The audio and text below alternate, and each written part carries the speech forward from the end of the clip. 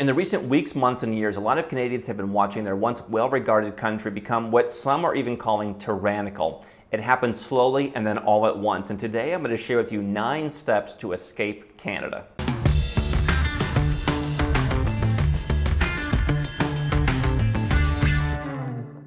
Hi, I'm Andrew Henderson. This is Nomad Capitalist, where we help seven and eight figure entrepreneurs and investors legally go where you're treated best. And for a quarter of a century around my family's kitchen table, and nearly a decade now publicly, I've been talking about the slow death of the West. But for so long, many people, especially those outside of the United States, which taxes its citizens no matter where they go, ignored the idea, saying, hey, Canada's still a pretty great place to live. Why would I want to go to some up and coming country? just to reduce my tax bill? What freedom am I losing? What worries do I have? And we've seen in the last couple of years, and specifically just in the last couple of weeks and months, how countries like Canada and Australia have totally flipped the script. Many people believe they're not even free democracies anymore. Now, I'm not going to weigh in on that because I believe you need to make your own assessment. But I do want to talk to you, if you're a Canadian, about how you can get out of the system, how you can protect yourself. As someone who's worked with uh, plenty of Canadians and close to a thousand clients over the number of years, I want to share with you not only the strategic steps, but some of the personal steps that you're going to want to take over the process. And the first thing before we get into the steps is understanding do you want to have a plan A? I.e., are you planning on leaving Canada? Are you getting out? Are you saying, I'm done? Or are you putting together a plan B? Are you building infrastructure that where you can leave in the future? Now, plan A is always a little bit easier because what I've said is better years too early than a day too late. We've seen so many times again and again that stuff creeps up on you. You know, that um, you know, geopolitical issue that breaks out, uh, the new tax, the freeze of your wealth, all these different kinds of things can happen in overnight. They can happen in a week. You want to be prepared. And so plan A always gives you more preparation. You'll always be ahead of the game, but plan B certainly is a way that you can at least be more prepared than most people. So the first thing that I would look at, seeing what happened in Canada where they just came in and froze people's bank accounts and misused the Emergencies Act, was you want to move your bank accounts. Now I know some people like cryptocurrency. I believe, I mean, if whether you have Bitcoin, whatever, put that in a ledger. Maybe the ledger goes somewhere else. Maybe there's a vault somewhere else. But let's just talk about bank accounts. I think having a bank account is still valuable. Get a bank account somewhere else. Now, I'm not saying you're going to hide your money. There are going to be some requirements for how you keep that bank account in compliance with Canada, especially if you live there. So we're not talking about Wolf of Wall Street, you know, style hiding your money uh, overseas. But there are plenty of bank accounts, whether you've got, you know, just a couple bucks to deposit in a country like uh, uh, Georgia or Ecuador, or whether you've got more money to deposit, you can work your way up to uh, various Caribbean islands, to Singapore, to uh, Switzerland, to the UK. Uh, there's all kinds of banks around the world, whatever your uh, amount is. So move some bank accounts. You can worry, and by the way, this is not legal advice, but you can worry in most cases about more complicated structures like offshore trusts later. First, have a bank account somewhere else. Have some money. And, and preferably, don't let it be one of these you know, weird offshore accounts with crazy high fees. Make it be a regular account in a real country where you get a real ATM card, and then figure out whether you're in Canada or whether you're watching this from somewhere else. What are the legal requirements? I have to report that account to my country. You may have to pay tax on any interest that you earn, which can often be much higher in other countries. So make sure you're following all the local rules and regulations, at least until you exit your country's tax system, but have a bank account or multiple bank accounts offshore. The second thing I would think about if I'm concerned about uh, what's happening in my country is find a way to be location independent. And so uh, if you have a job, that's obviously more difficult. Can I do this job remotely? Uh, can I do a freelance version of this job remotely? Can I make this a business and do remotely? Do I've got a side hustle that I can put extra effort into and make that side hustle replace my income? Keep in mind, Canada is one of the most expensive places in the world to live. You could go to a country, I mentioned Georgia, let's take that as an example. If you, you know, were able to take some money off and just buy a small apartment in Tbilisi, Georgia, you could probably live there for $1,000, $1,200 a month to a, a relative Western standard. Now, obviously, we have inflation right now, that number could go up. But I mean, you could live in existence that you would cost you three or four thousand dollars in Canada for probably you know one third of that, or even less in some cases. But figure out how to make yourself location independent, and again, possibly lower cost of living if you were just starting out could could help facilitate that. Um, I think a lot of businesses, number one, should be less dependent on Canada. we work with people from all over the world here at Nomad Capitalist, and so no matter what happens in one part of the world, I have flexibility, I have a certain resilience. But I would also look at can you walk away from an on the ground business? A business like Nomad Capitalist can work anywhere. We can simply move around the world. If you have a factory, maybe you can find out how to remove yourself from that factory to where the factory keeps running with your local team who perhaps doesn't share your concerns about what's happening in Canada. That business keeps running, but you're managing it from afar. People did it during the pandemic, and I think that shows that you can do it now. So even if the business is on the ground, even if you've got a job on the ground, think try and find creative ways to where you can physically leave the system. The third thing that I would look at doing is selling assets. Okay? One of the things that I consistently talk to folks about, they'll come to me and say, I don't trust the country. I don't care if that country is the US, Australia, Mexico, what have you. And time after time, I've talked to folks who have you know, their entire wealth in 10 rental properties in the country, in this case, Canada. I say, you know, are you open to at least selling some of them to then diversify your investments and put some money overseas? Sounds like you're very concerned they're coming in and taking people's assets, they're doing all kinds of crazy stuff. And people a lot of times say, no, I don't want to sell it. It's really hard to help that kind of person because you're telling me that you're worried they're going to come and grab everything.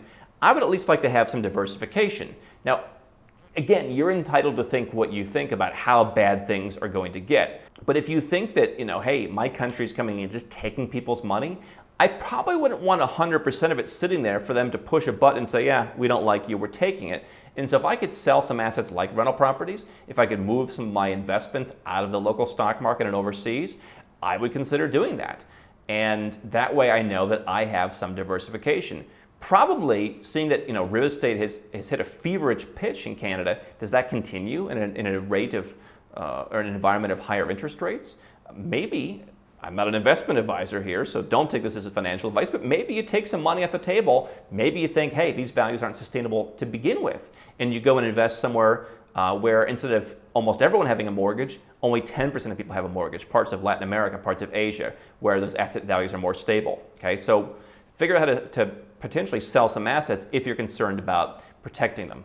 Uh, the fourth step is physically leave. Okay, so you've got bank accounts somewhere else, you've got the financial infrastructure, you've moved some money into cash, ready to invest in other assets, you have location independence. Now it's physically leave.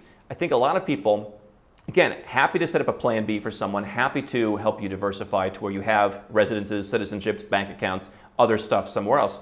You don't have to physically leave, but if I'm trying to stay ahead of the game and I'm worried about what's happening in my country, I want to be out of that country because who knows what they could come up with? Who knows uh, what happens literally tomorrow? Who knows what, if I'm a taxpayer in my country, they say, you know what? Everyone is a taxpayer as of March 1st is uh, going to be subject to a new wealth tax. Well, if you were out, you wouldn't have to worry if you were there on March 1st. They're literally pushing through retroactive taxes in countries like Canada and the US. They have literally done that. And so the idea that you want to stick around and hope that one day it's going to be better, uh, or hope they're not going to catch you in that kind of stuff, hope they're not going to spring something new on you, I think physically leaving gives you the most um, probability against that. Uh, the fifth thing that I would suggest you doing is get yourself out of the tax system. Unlike Americans, at least for now, Canadians don't have to pay taxes no matter where they live. You can simply exit the country's tax system. That's something that us and our network do help people do. It's different for everybody. It requires a certain amount of sophistication in, in many cases. But if you exit the tax system and you do so cleanly, okay, then you know that whatever you're going to do outside of Canada uh, makes sense. By the way, physically leaving sooner than later means if you have assets that are increasing in value, a business that's increasing in value, um, you know, income that's coming in, you're going to be able to get more of that outside of the tax system in a place where you choose the tax rate 0%, 1%, 5%, what have you. So the faster you leave, the faster that you can exit the tax system. Again, Americans don't have that luxury because they're taxed no matter where they live, even though there still are plenty of substantial tax exemptions and reductions for Americans. Canadians can simply leave the system and say, I'm out. And so if you did that, where are you now going to pay taxes? You probably want to set up somewhere where you can actually be a taxpayer. You don't want to be someone who's just traveling around the world one month here, one month here, and then you come back to Canada for four months. So you want to have a proper plan to exit the tax system, probably be in someone else's tax system. And that brings me to issue number six. Have a residence somewhere. Have a residence permit. Plenty of countries, for example, in Latin America, if you show them income, 600, 800, 1,000, 2,000, up to several thousand dollars a month. Most countries in Latin America have some kind of program. Now, Latin America is quite bureaucratic, um, but for someone who just has an income, it's going to be easier to get into than, let's say, a country in Asia, for example, where they're more focused on your bringing wealth. It's going to be perhaps easier to do tax planning in living in Latin America, depending on which country you choose, versus living in Europe. And you'll have more flexibility there. But there are plenty of countries around the world where you can get a residence, whether you don't have a lot of money and you just have an income. If you're Canadian, you will have enough income to get into most of the countries out there. If you have money to invest, you can buy real estate. You can get a golden visa. You can get an investor visa. You can get all kinds of different things. But get a residence permit. And so if you're using a plan A where you're exiting Canada now, then you can get a residence permit where, hey, I'll, space, I'll spend six months in your country. Uh, maybe there's a tax exemption or there's no tax on foreign income to where I, you know, I'm in your country for six months, I'm liable for tax, but there's no tax. If you don't want to go and move overseas right away, if you're doing the Plan B approach, there's plenty of residences where you invest money, and we cover all these here on the channel. You invest money and you only have to be there for one day, seven days, 30 days a year to keep that residence permanent active, but have a residence where you can call home. Because I think that you know, nomadism of just traveling around the world is fine. Obviously became a bit more difficult during the pandemic, but even after the pandemic, what you're seeing is countries are being a bit more strict. Mexico will let you come in, but they want to see when you're leaving. It's no more of this, hey, just come in for 180 days and then leave for a day and then come back. They don't really like that anymore. And so some people will get away with it for a while, but they really are cracking down. Even if you say, here's my return ticket in five months, they might say, eh, that's too much. Here's your three months. Come on in. And so nothing wrong with visiting Mexico, but if you want to live in Mexico longer term, you need to get a residence permit. I also think that's going to give you more stability to prevent you from then getting frustrated and returning to Canada. Having some place you can call home, even if you don't spend all your time there, and having the higher level of access that you're a resident, not a tourist, gives you a certain amount of certainty to where you can go and, and use that and continue your offshore plan and build from there. If all you want to do is live in Panama, then having Panama residence gives you that, and you can do that in a relatively tax-friendly way. If your goal is to live in one place for four months while you explore the whole region and find anywhere else you want to live, then you know at least you have a base. At least you know you can get in somewhere the next time they crack down on tourists coming in because of a pandemic or whatever happens next. The eighth thing I want to do, or sorry, the seventh thing I want to do is I want to have real estate somewhere else. And so again, I see people who you know they they feel. Um, disconnected because they had a house in Canada, which potentially you might want to sell if you're selling assets or if you're putting together a tax exit plan. It may be beneficial to sell or, or do something else with your house. Um, so having real estate somewhere else, I think number one introduces you to the world of offshore where you can buy property a lot more cheaply. I mean, just, just the equity in your house in Canada probably will pay for a pretty incredible house in many places. Have real estate in another place to give you some diversification, to give yourself a home that you're willing to go and live in. Um, if you don't, if you decide not to live there, then rent it out. But I think having real estate somewhere else is both a strategic step of putting some assets overseas that can be diversified, but a personal step of protecting yourself from again wanting to go back because you don't have a home.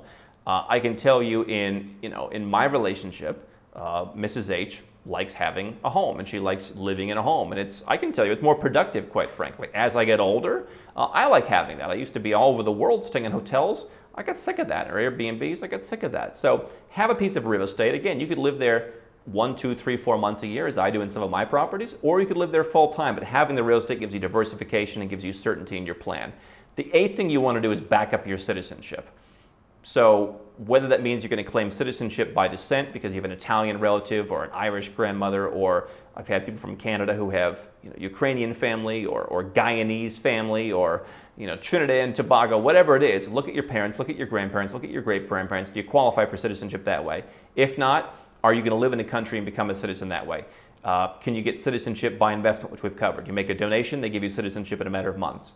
Um, are there other ways to get citizenship? You want a backup, so if Canada says, we're not going to renew your passport, that's a big topic right now, is countries want to cancel passports.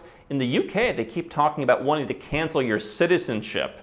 And 25% of Brits, for example, said, hey, if you do something bad enough that we don't like, let's just, let's just make you stateless. I mean, hey, why not? So having a backup citizenship from an agnostic country, preferably a low tax country, and certainly one that's not going to bother you if you don't live there is beneficial. Having a second passport does not mean your taxes go away. Where you live generally determines your tax burden. But backing up your citizenship means that you are no longer bound to simply one country. By the way, there are places where you can buy real estate, get the backup citizenship. Not the Caribbean, but places like Turkey, for example. There are countries where you can start a business and work towards citizenship, hire employees, plenty of things you can do to get that backup passport. So some of these steps will work together. My goal, if I'm advising you, is to try and figure out how many you know, different things can we do that, that knock out these nine steps pretty quickly? And then the last thing would be build a life outside of Canada. Have non-Canadian friends. Have people you can rely on. Um, start to accumulate bank accounts. Start to accumulate a property. Start to spend time. Open yourself up to, again, you don't want to be coming back. You don't want to be like, oh, I can't take it. I do work with people from time to time where they do it for a year and they just, they can't get into it. And so they end up going back and they lose potentially hundreds of thousands, millions, tens of millions of dollars in tax savings. They lose the lifestyle benefits. They lose the adventure. They lose so much from living the nomad capitalist lifestyle. There's no right way to do this. You can move to one place and never leave. You can go and you know, live my trifecta method, spend four months a year in three places. You can be nomadic. You can be nomadic with a base. There's plenty of ways you can live this lifestyle. It doesn't have to be zero tax. It could be 5% tax, 10% tax. It could be higher. You choose how you do this, but you have to build some life outside of Canada. Don't just go and meet only Canadian friends. Go and expand your horizons. Go and invest in things that aren't Canadian. Go and just try other stuff. And I can tell you from personal experience, you're going to become more and more comfortable doing this. So if you want our help doing it, you can go to nomadcapitalist.com and see what our process is to work you through all these different steps because they have to be holistic.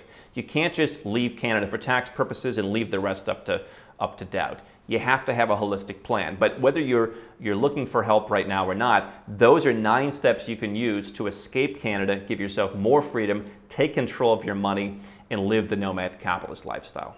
Don't stop now. We've got well over a thousand more videos here on YouTube for you to watch and learn how to go where you're treated best. And if you want to work with Nomad Capitalist personally, go to nomadcapitalist.com slash apply, learn about our unique tried and true process garnered over years of experience and learn how you can become our client.